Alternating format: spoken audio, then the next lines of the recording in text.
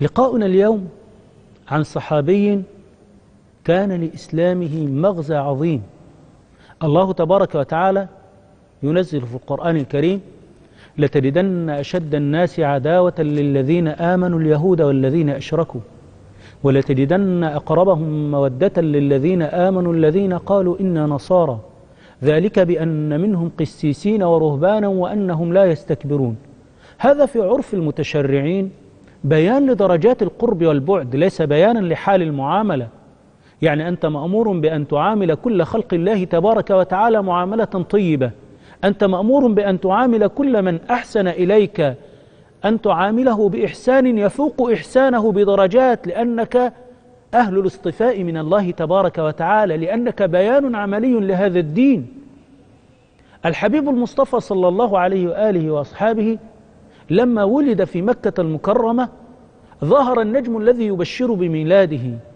وكان اليهود ينتظرون أن يكون النبي الذي سيبعث في آخر الزمان معهم حتى إنهم كانوا يتوعدون الأوس والخزرج حين كان يدور بين الأوس والخزرج وبين اليهود مناوشات بحكم أنهم يعيشون في يثرب. كان اليهود دائما هدفهم أو عملهم طوال التاريخ أن يوقعوا بين الناس وتقوم الحروب ويستفيد اليهود وينتفعون بهذا. فلما نزلوا يثرب انتظارا لبعثة سيدنا محمد صلى الله عليه وسلم أو لنبي آخر الزمان كما ورد في كتبهم أنه سيهاجر إلى هذه الأرض فكانوا يعتقدون أو يظنون أنه منهم. فلما كان بينهم وبين الأوس والخزرج في الجاهلية أي مناوشات كانوا يقولون لهم لقد أظل زمان نبي أو لقد اقترب زمان نبي نتبعه ونقتلكم معه قتل عاد وثمود. فهم كانوا دائما يتوعدون الأوس والخزرج في الجاهلية أن نبي آخر الزمن حين يبعث سيكون منهم وأنهم سيكونون أول الناس اتباعا له وأنهم إذا اتبعوه يبعث بالقتل. هذا النبي إذا اتبعناه وفي عقيدته أو في ديانته وشريعته أنه يباح له أن يستعمل السلاح مقاتلا. سنقتلكم معه قتل عاد وإرم لأنكم في ذلك الوقت ستكونون على غير الدين الذي نحن عليه. فهذا أثار في نفوس الأنصار استعداد لهذا النبي. فلما بعث سيدنا محمد صلى الله عليه وسلم وسمع الأنصار به أو سمعت الأوس والخزرج به قالوا نعم هذا هو النبي الذي كان يتوعدنا اليهود به فآمنوا به. ولكن ما موقف اليهود هنا؟ يقول حسان بن ثابت رضوان الله عليه وحسان حين هاجر الرسول صلى الله عليه وسلم كان قد بلغ من العمر ستين سنة وكان الرسول صلى الله عليه وسلم في الثالثة والخمسين من عمره يقول إني لصبي أعقل ما يقال. إذا سمعت أو إذ سمعت يهوديا على حصن من حصونهم يقول يا معشر يهود هل ولد فيكم الليلة مولود؟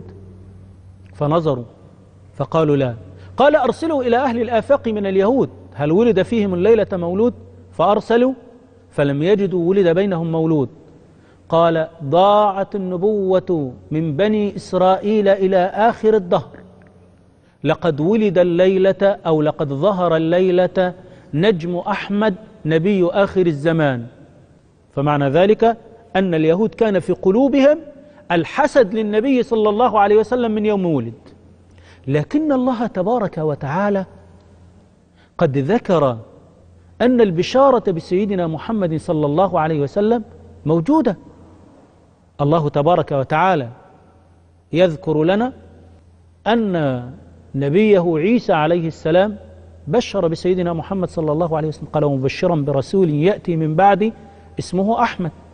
فكان في شريعة بني إسرائيل يهودا ونصارى أن سيدنا محمد صلى الله عليه وسلم هو نبي آخر الزمان وأنه سيبعث وعلامات النبي صلى الله عليه وسلم موجودة عندهم كما قال رب العالمين تبارك وتعالى الذين يتبعون الرسول النبي الأمي. الذي يجدونه مكتوبا عندهم في التوراة والإنجيل يأمرهم بالمعروف وينهاهم عن المنكر ويحل لهم الطيبات ويحرم عليهم الخبائث ويضع عنهم إصرهم والأغلال التي كانت عليهم فالذين آمنوا به وعزروه ونصروه واتبعوا النور الذي أنزل معه أولئك هم المفلحون. هذا ما قصه رب العالمين تبارك وتعالى من البشارات. ولذلك سيدنا محمد صلى الله عليه وسلم يقول ثلاثة لهم أجران. من الثلاثة الذين لهم أجران ورجل من أهل الكتاب من أهل الكتاب يعني من اليهود الذين آمنوا بالتوراة أو من النصارى الذين آمنوا بالإنجيل من أتباع سيدنا موسى عليه السلام أو من أتباع سيدنا عيسى عليه السلام آمن بنبيه وآمن بي فله أجران. أجر الإيمان بالنبي سيدنا موسى عليه السلام أو سيدنا عيسى الإيمان بالتوراة الإيمان بالإنجيل وأجر الإيمان بسيدنا محمد صلى الله عليه وسلم والإيمان بالقرآن لكن اليهود ما كانوا على درجة واحدة في هذا القبول لأن اليهود من أكثر الناس تعصبا. لماذا؟ حتى إنهم أدخلوا أهواءهم في دين الله وجعلوها دينا. لكن الذي نتحدث عنه اليوم كان حبرا من أحبارهم وكان عالما من كبار علمائهم. حتى إنهم لما سألهم النبي صلى الله عليه وسلم عنه ماذا قالوا فيه؟ هذا ما نعرفه إن شاء الله تعالى. بعد الفاصل.